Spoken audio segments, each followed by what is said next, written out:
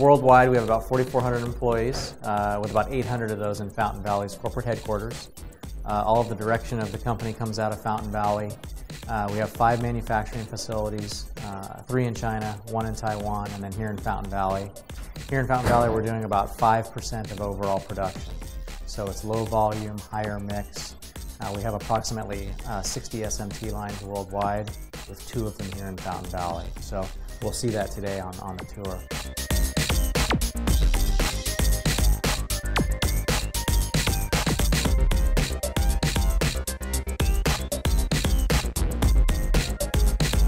These are the stencils that we saw hanging uh, in the other room.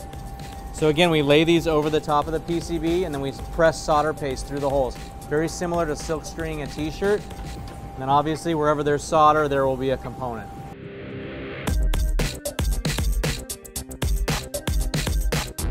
This is just taking a, a, a picture down on top of the mod modules and it makes sure there's enough solder paste in each location before it moves on to the next uh, point. Quality control, yeah, it's, cru it's crucial along the line. Again, otherwise you could potentially produce thousands of something with a problem. Uh, these two machines, they place the, uh, in this particular case, the USB connector, which is on this reel here, yep. is placed.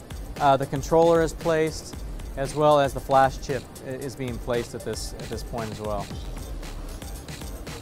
So again, everything's been placed up until this point. Nothing has been soldered yet. So the next step in the process is this uh, is the reflow machine. So this is where the components will actually be soldered to the PCB. So we cycle temperature up to 500 degrees Fahrenheit.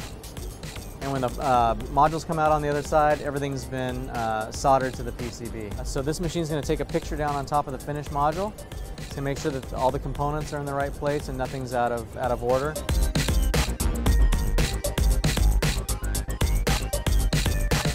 Is a labeler, so this is where the work order number, serial number is put onto the component.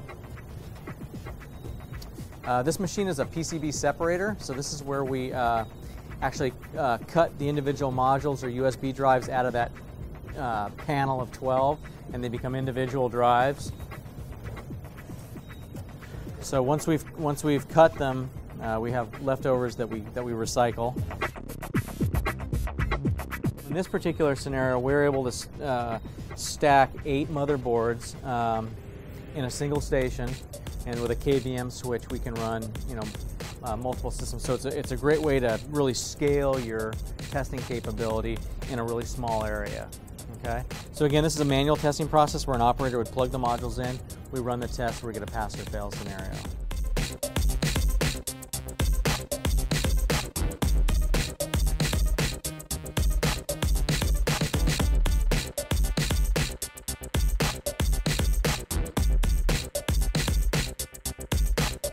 Uh, these are our automated test machines. Uh, nothing's running right now. Uh, this is our latest uh, test machine, the KT2501. Uh, again, um, uh, all designed by engineers here at Kingston. Um, this particular machine can process approximately 1,000 modules an hour. micro SD card packaging. so we're packaging the micro SD card and the adapter. we do this in what we call a uh, card-to-card -card packaging versus a blister pack. Uh, so this offers the same level of security as a blister pack, um, uh, but it, it costs less to produce and it's better for the environment.